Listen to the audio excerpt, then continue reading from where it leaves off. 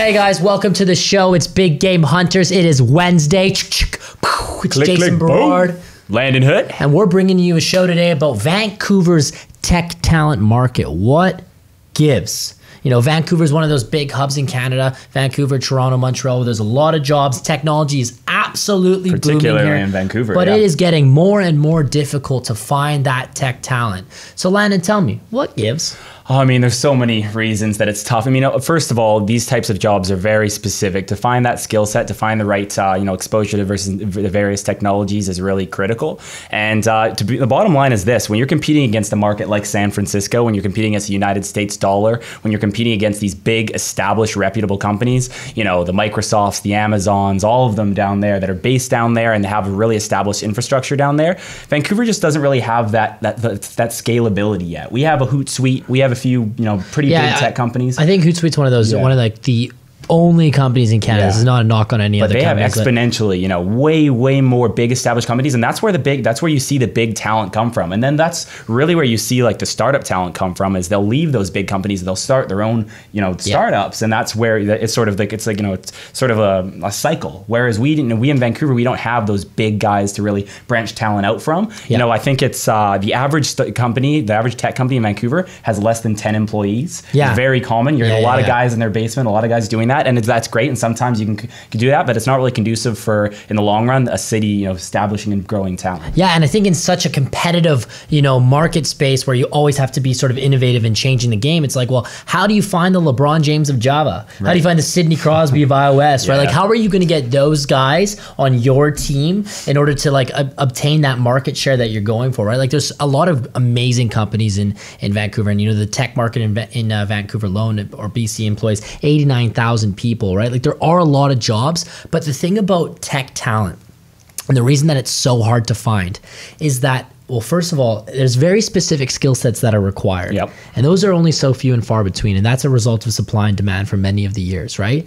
Right. Another thing about the tech talent is that they can choose where they want to go, right? So why would I come work for you? Right. I mean, and we have benefits. And Vancouver's a beautiful city. We got the mountains. We've got the ocean. But I'm even It's- talking within but, Vancouver. But, but even yeah, even so, it's still. I mean, there's various challenges that Vancouver has. The real estate costs. Yeah. That's. I mean, that's tough. I mean, you have those in San Francisco too, but the salaries don't really match. I mean, you look at the salaries in San Francisco versus the salary in Vancouver. Not even taking into account the dollar difference, which these close. days is getting worse and worse, and they're they're just not even close. So that's. I mean, that's a huge part about attracting talents. But again, I mean, a lot of these companies, and when you look at it from an executive level perspective, and trying to bring in the big executives that can help grow these companies from the small guys in their parents' basement to the big, you know, scaled companies, is you want somebody who's done it before. You know, you never. It's very, very rare to find somebody from their first time growing a company into a big thing. There's failures. We talked about this re- in a recent learn. episode. Yeah. Failure, failure. Yeah, you yeah, have to have failure, and that's we're seeing a lot of startups in Vancouver where the people haven't had that exposure. Number one thing we hear from the clients that we're working with and the software companies is we want somebody who's done this before. We want somebody who's taken a tech company public and grown it.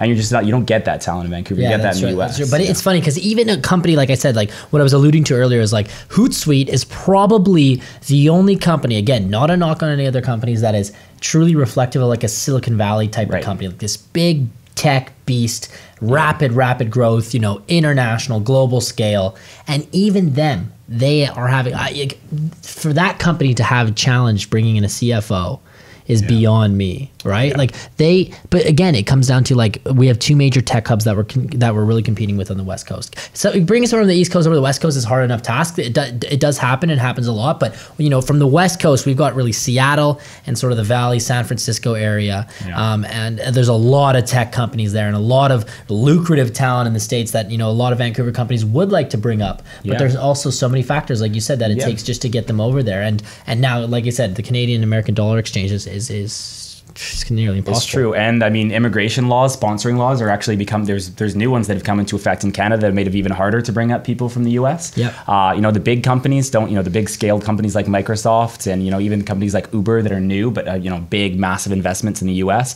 You know, more investment firms down there pumping money into them. Is they you know they can find ways past that red tape because they're bigger companies and they can they can sponsor people on a bigger level. Whereas for us, it's really hard in Canada to to get that paperwork done and to Oh really man, have a it make nightmare. sense. It's not Yeah. Even hard. It's a No, nightmare. exactly. It's expensive. Like Yeah. if you're a company of like eight to twelve people and you're trying to build a team, like and it's a it's a lot of tech focus, like good luck. Right. And I don't and I mean that sincerely. Like No. whoever is doing it and does build it from that, you know, eight person company to two hundred, like no, I don't think we truly understand how impressive that feat is, especially in today's talent market. Uh, I'm I'm thinking about a company like Grouplend that just raised ten point two million, right? Uh, a company of like ten employees that now they have an opportunity there because clearly the people that are backing them see the the, the disruptive potential of that company, and that's going to be one of the ways to get around it, right? Is raise more money because you're going to be have to you're going to have to put out that money to get that talent, right? You have to find somebody that believes in your vision. So you have to have, you know, an entrepreneur, a visionary leader that can really communicate what, you know, what differentiates them and why they're, you know, you know, on an awesome company. And you're seeing that more and more. I mean, it helps that Hootsuite's been around a little bit and you can get some people branching out of big companies like that. But and there are, you know, more and more investment firms that are taking a hard look at Vancouver and the startup talents in Vancouver and the companies that are growing out of there. But you really do need, uh, you know, if you're going to be a small company and you haven't had that experience doing it in the past, you don't have a big resume, you just have some guys that are growing it.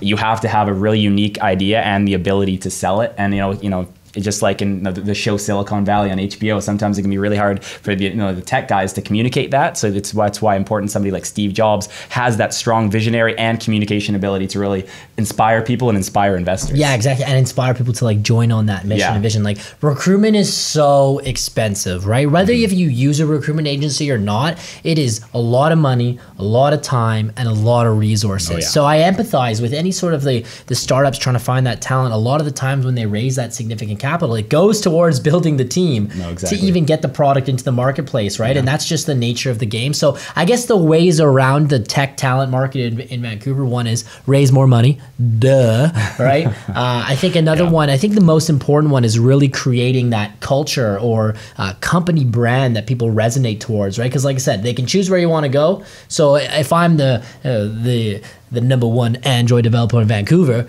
well, I can choose where I want to go. So if compensation's kind of going to be around the same ballpark or an extra 5,000 here, 10,000 here, you know, what am I truly going to resonate towards? Maybe it's to a company that really values their employees' time. Maybe it's flex work, unlimited vacay. That's a popular thing too, right? Yeah. And I think the And the ability to grow, you know, exposure to various technologies and the ability to he got my point. He got Yeah, it. He got exactly. Because you know you want the opportunity to fail too. Because sometimes you know you join a software company that's a little bit too strict on you know the code a little bit. If there's some mistakes being made, then they you know they hit hard. Whereas you re- you know developers really need that freedom to be able to you know test new technologies, try what's out there, try the latest stuff, learn on the job. That's attractive to a lot of developers, and that's attractive to the best developers. Yeah, get social too. You know, Yeah. like I think uh, I I, I guess you know yeah, you got to get on that. You got to get on the even the Twitter grind. Even though Twitter, uh, I don't know how long it's going to be around. No offense, but uh, Oh, we'll- it'll, it'll be around. It just probably won't grow as fast. yeah, yeah, yeah. We'll yeah. see. We'll see where it ends up. But uh, you know, a lot of Twitter, fa- uh, Facebook is kind of like it's a bit dated, but you know, a lot of people in there. Instagram's a big one. I think that creates a pretty, pretty uh, recognizable social brand. And then of course the big one is LinkedIn. But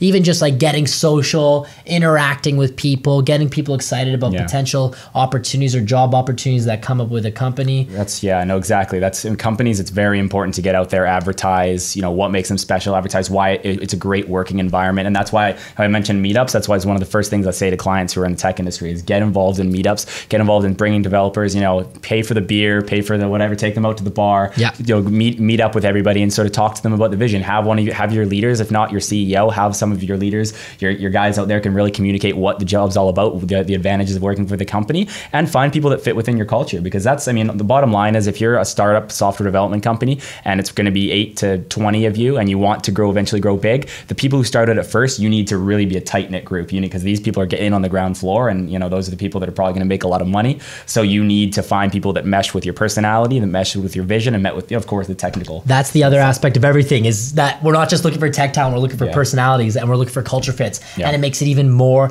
and more and more difficult. Right. Um, so, what are some companies that people should watch close out the year? Who do you think? Well, I mean, there's a few. I mean, your opinion, who do- who do you look Well? Grouplend just got the massive investment. Yeah. I mean, that's Yeah. another a huge thing. I They're mean, going to be huge. Ah, I mean, d- based in Vancouver. I mean, uh, some of the things things happening in Vancouver these days is some of the big guys are actually have moved up to Vancouver. I mean, you've seen we've seen Microsoft and Amazon just launched Yep. you know offices in the last year, year and a half in Sony, Vancouver. Sony Entertainment. Uh, yeah, the, I believe the, the, the Sony's got one studio that they have. Yeah. They just launched it. As well. Microsoft just invested in the Microsoft Excellence Center in Okay. Vancouver, which is gonna, you know, it's they're finding ways to bring international talent to this in- to this center, and so it's not necessarily conducive for homegrown local talent, but at the same time, they're really investing money into finding the you know some of the great tech minds, bringing them into Vancouver, growing the sort of the area, and that can only mean good things for the companies, you know, that spread out from you know in Vancouver. Yeah, yeah, I think for for me, uh, the the companies I'm seeing, you know, really blow up. Cymax is one of them. Right. Really blowing up. Uh, so I'd like to see how they close out the year.